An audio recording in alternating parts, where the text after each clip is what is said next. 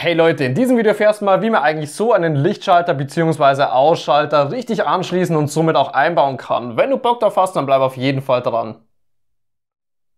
Da wir hier jetzt übrigens an einer elektrischen Anlage arbeiten, müssen wir unbedingt die fünf Sicherheitsregeln einhalten. Doch hierfür wäre ein spezielles Video an dieser Stelle einfach sinnvoller. Und wenn das Ganze dann vom Stromnetz genommen und spannungsfrei ist, dann schauen wir uns mal einen vereinfachten Schaltplan an.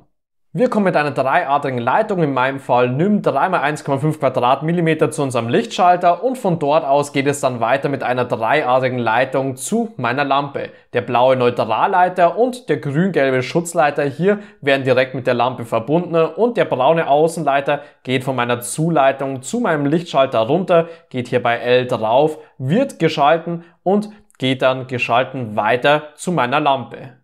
In der Praxis ist meine Lampe hier oben schon fachgerecht angeschlossen, wofür ich auch schon ein extra Video gemacht habe. Und aus diesem Grund kann ich jetzt auch hier mal die Leitung für meine Lampe und meine Zuleitung abmanteln, so dass circa 10 cm weg sind und 1 cm aber noch in die Hohlwanddose schaut, dass ich einfach eine entsprechende Zugentlastung habe. Als nächstes gebe ich beide blauen Neutralleiter und beide grün-gelben Schutzleiter einmal nebeneinander, lege das Ganze noch etwas in die Dose hinten rein und biege es einfach mal nach oben um. Danach kürze ich es mit einem Seitenschneider einmal auf dieselbe Länge ab und jetzt muss ich für meine Klemmen hier das Ganze noch auf 11 mm abisolieren. Die meist blauen Außenleiter kann ich jetzt auch schon dementsprechend abisolieren. Bei mir am Schalter steht oben, dass zwischen 10 und 14 mm gemacht werden muss, weswegen ich hier auch die 11 mm lassen kann. Wenn alles vorbereitet ist, kann ich die grün-gelben Schutzleiter mal mit meiner Klemme hier verbinden. Und dasselbe Spiel machen wir mit den blauen Neutralleitern natürlich auch. Danach sind diese nämlich schon richtig miteinander verbunden, weswegen ich diese jetzt einfach mal in meiner Hohlwanddose bzw. Unterputzdose nach oben schauend hier hinten verstecken kann. Wichtig ist natürlich, dass die Dose dafür auch tief genug sein muss.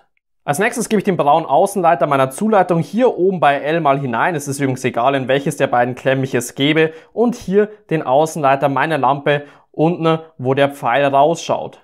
Natürlich sollte dein Schalter jetzt schon 180 Grad gedreht sein, dass er Richtung Hohlwanddose schaut. Ich habe ihn jetzt nur mal so angeschlossen, damit man es einfach besser verstehen kann. Denn hier unten habe ich meinen Außenleiter, welcher ja zur Lampe geht. Und diesen kann ich jetzt entweder hier rechts einmal in diese zwei Klemmen geben oder hier links in die zwei Klemmen. Der einzige Unterschied hierbei ist, dass wenn ich ihn normalerweise hier auf der rechten Seite lasse, also so quer gegenüber schalte, dann bedeutet das, wenn ich meinen Lichtschalter jetzt oben habe, ist das Licht aus und sobald ich ihn nach unten drücke, geht das Licht an, so wie es normalerweise auch sein sollte. Habe ich jetzt zum Beispiel hier diesen Außenleiter auf der linken Seite angeklemmt, dann wäre es jetzt im Moment aus und sobald ich hier den Schalter nach oben betätige, wäre das Licht angeschaltet.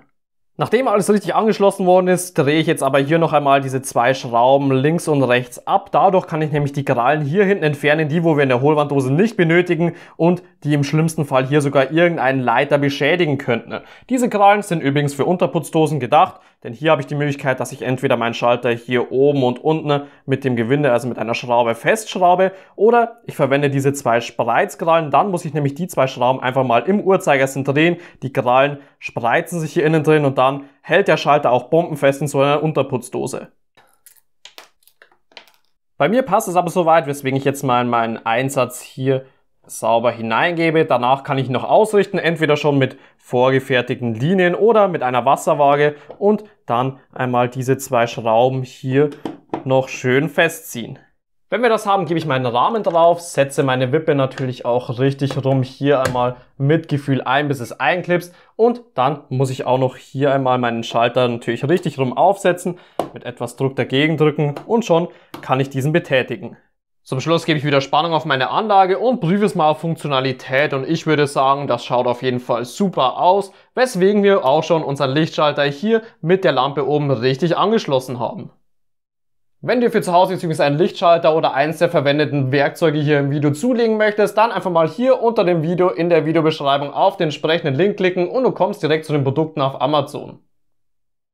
Falls dir das Video gefallen auch weitergeholfen hat, kannst du mir gerne einen Daumen nach oben geben und es einmal unter dem Video in die Kommentare reinschreiben. Außerdem kannst du meinen Kanal noch hier oben kostenlos abonnieren, um kein neues Video mehr zu verpassen.